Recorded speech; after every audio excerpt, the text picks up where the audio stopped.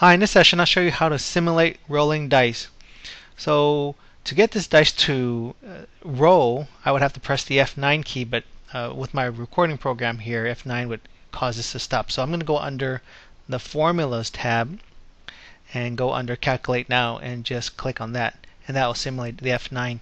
And so basically you'll see that the dice is basically rolling right now. And so we get our different values from 1 to 6. If I couple, press it a couple times, and I've got this small little table here. This is dice 1, this is dice 2.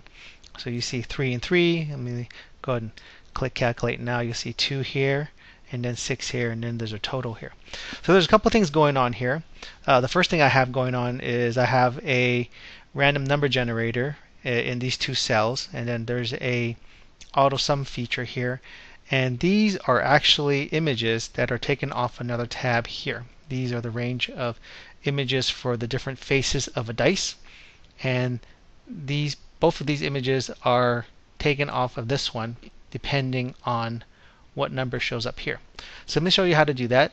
We have a formula here, we've got a formula here, and within these images themselves they are tied to another formula. Uh, let me show you how that's done. Let me go and just copy this particular part of the table. Let me go and just copy the whole thing here. Control C to copy and then Control V to paste. Let me go and double click this to increase the size. And I'll just I'll just delete this these contents in there for now. And so what I'm going to do is I'm going to create a random number that gets generated between 1 and 6 and that's done with the rand between function. So I just type rand and I'm going to go ahead and select this one, rand between. And the random, the, the bottom number, it's going to be 1, and the top number is going to be 6. Let me go ahead and close that and press enter, and now you see 1. If I click calculate now, you'll see it generates between 1 and 6. I can just go ahead and select this, control C to copy that cell and go into the cell and control V to copy it. It's going to be the same thing.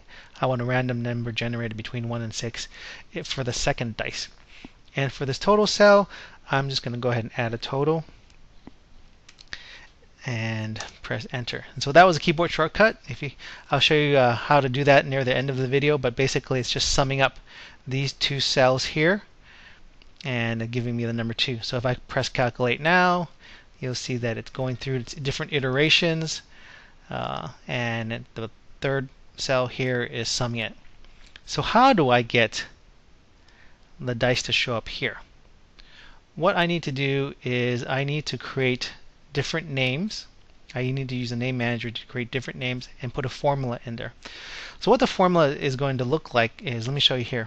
I want to I want to see this particular cell. Uh, I want to take an output of this cell and kind of put it into the formula to reference one of these cells. So you can see that I neatly put each of these dice within a cell. This is A1 here, A2, A3, A4, A5, A6. So let me show you how I created this particular sheet. Let me just go into a new sheet here. And what I did was I basically just took an image. You can just take an image that you have some dice and what you need to do, this is probably a, a GIF image. And what I'm going to do is, I'll just copy one of them. I'm going to select this one. And then Control C to copy. And then Control V to paste. So you see it's pretty big. But what I'm going to do is I'm going to kind of size this image into a cell here. It's good to have your image, your dice image, the same size. So when you size up the cells here, they would be about the same. So I'm going to size that up a little bit. I'm going to put this in here and size the column. Me go ahead and left mouse click and size that column in there a little bit. Let me move this up a little bit. Alright. And so basically, hope, hopefully uh, the, your, your other images are the same size. I'm going to take another image here. Control C to copy. Control V to, I'm just selecting it, Control V to paste. And I'm going to right click this particular row and look at the row height it says it's about 84 84 so I'm going to go ahead since I have six faces on a dice I'm going to go select the six rows right click go into row height and put 84 in here and you'll see now they're all about they're all about the same row height let me go ahead down here and move this one let me go ahead and move this one back up here whoops move this one a little higher here. I should have did that. And then move it in here. So it looks about the same alignment. And that is number one, number two, and you just do number three, number four, number five. And so that basically will look like this. We can get also need to get rid of the grid lines here. And so I can just go under view and then uncheck that box and the grid lines disappear. So you do, basically do that last. After you've put the dice in and you've arranged the column and row heights, you just get rid of the grid lines. And then you would have something like this. The reason why this looks smaller because I have this one at 70% right now. So once we've got the images sourced and put into another sheet, what we need to do is create the formula that will call that, that particular cell.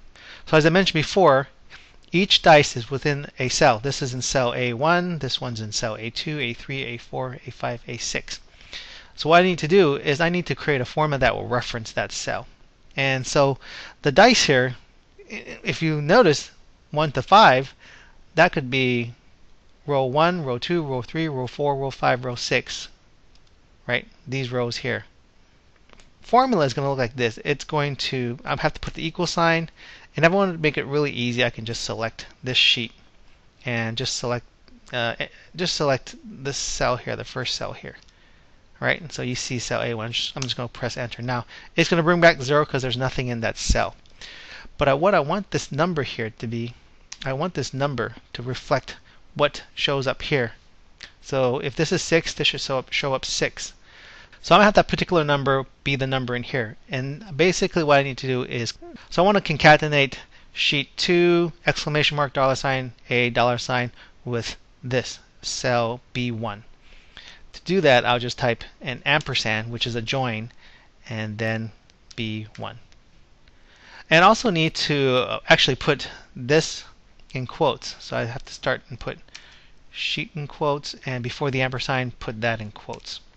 So if I press enter, what it's going to do, it's going to show sheet 2A1. So the output is, it just tells me that it's sheet 2A1. And that's basically this cell. It's in sheet 2, it's in A1 here. If I wanted to let me show what are the what's the value in that cell, let's pretend I have a value in that cell. Right now I don't have one. I'm going to go into B1 and just press the left arrow and I'm going to type something like number one. And so that that number one is right behind this picture. And it doesn't show up here because this is text. So if I wanted to show me what's actually in that cell, I would have to use the indirect function. So I type indirect and referencing this sheet 2A1. Let me close parentheses there. So it's going to take that text of sheet 2A1 and reference it back to this cell and give me the number and the, give me the one word. And press enter you'll see that it's there. So that is the formula that we need to use. So let me go ahead and just like put a space here so it doesn't calculate the formula. And I'm going to go ahead and, and copy that formula but without that space there okay? Control C to copy and what I want to do is I want to create a named range and so I need to go under formulas whoops let me go ahead and press escape to get out of uh, edit mode. Let me go, I want to go to formulas and go under name manager and create a new name. You can see I have two names and that was for the sheet 1 example that I showed earlier. So I want to create something new. Let's call it uh, let's call it dice 1. And I want to put that formula down here. I want to put indirect sheet 2a b1. So b1 is calling this particular cell. Click OK. And you see nothing really happens, right? Let me go ahead and close that. The, th the, sec the last thing you want to do here is create a linked image. To create a linked image, make sure you have the camera tool in your quick access toolbar. If you don't, you can go ahead and just add it. Go ahead and customize it and click on more commands. And if it's not there, you can say you can just select cameras not in the ribbon and look for it. Well, in our in my case, it's there so it won't show up here. Oh, actually it did show up. So what you want to do is you want to click that and add it. So since I already have it on there, I don't need to add it. But just add that on there. And once that's there, you can just select, well, let's just select the cell. You can select basically any cell. And after you select the cell, you're going to click the camera tool. And let's just draw it out here. And what it's doing is actually is taking a snapshot of that cell. So if we change, if we press the, we went to formula and did calculate now, that 4 here will turn into whatever shows up here. So if I get calculate now, you can see that now that's 2 and that's a 2. What we want to do now is we want to click on there. When we click on there, we want to we see this reference is referencing B1 here. We want to change that to that name range that we just created, and that was called dice 1. Right? And dice 1 is this formula, and that was pointing to those dice, the first sheet there. So let me go ahead and press enter. Hmm, I have a reference not valid. Oh, there must be something in the name manager. Let me get back into the name manager and see what happened to our formula. Okay, oh, look what happened to our formula. It went to somewhere else.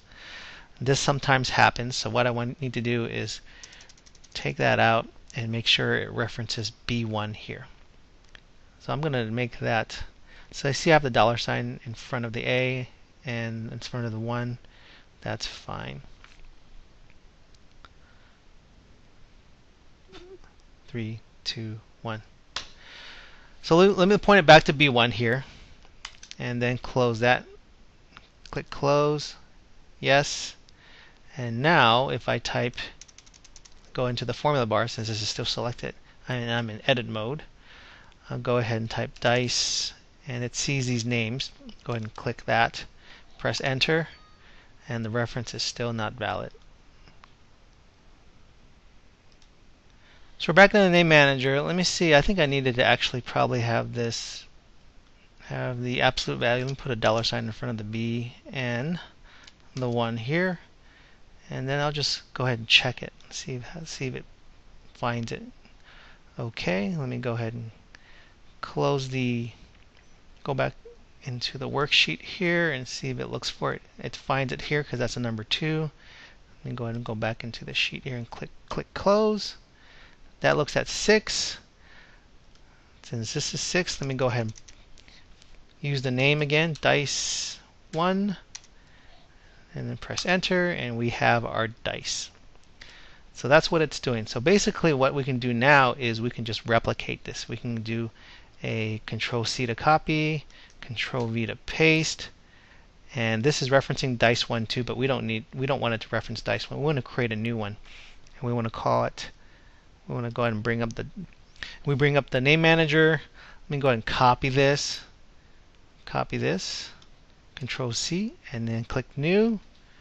We'll call this dice 2 and we'll go ahead and have this refer to instead of B1 we want to refer to B2 so I'm going to go ahead and take that one out and put a 2 in there click OK click OK let me go ahead and just check it here this is 3 so once we click on this, it's going to take us to the other sheet and go to A3, in which it does. See how it highlights A3 here? So we'll close that, click close, and now we have 5 and 5. And the reason why this one is 5 because the name manager, click on this, is pointing to dice 1. We want to have the second one point to the second name that we call dice 2. Press enter, and now it's 6. Let's go ahead and delete this, and we can go ahead and just kind of make them close together. So the rest is just kind of formatting. I can get rid of these grid lines, go under view, and then click that to get rid of the grid lines. Oh, I see that I have the, the, the one still there, so I can go back in here and just select that right left arrow and just press delete to get rid of that number one in there. And then if I go back to sheet 3, you'll see that it's gone. And I don't want these borders around here. I can click that right click go under Format Pictures, Line Color, select No Line, Close, and do the same here. Select that. I, I think I can press the F4 key because it will repeat the last command. Let's see if it did it. Yep, and it, that disappeared. So the rest of it is just kind of formatting. I can put them close together. And now when I go under the formulas and press calculate now, you'll see that it calculates. I have 1 and 1 that equals 2 there. So as I said before, there's a shortcut to create this sum. So if I delete that, what I can do is if I want to automatically sum things that are above or to the right, I just have to press the Alt key and then the equal sign. And it automatically creates a sum command. And Excel is going to try to guess which parts of the cell, which cells you're trying to sum. In this case, it guessed correctly, these above cells here. I just press enter, and then I've got my sum here of 9. And if I press calculate now, you'll see that the dice has been simulated. And so uh, we're, we have dice 1 at 1 and dice 2 at 2. So this is how you simulate a rolling dice or a rolling pair of dice. Hope this helps. Thanks for watching.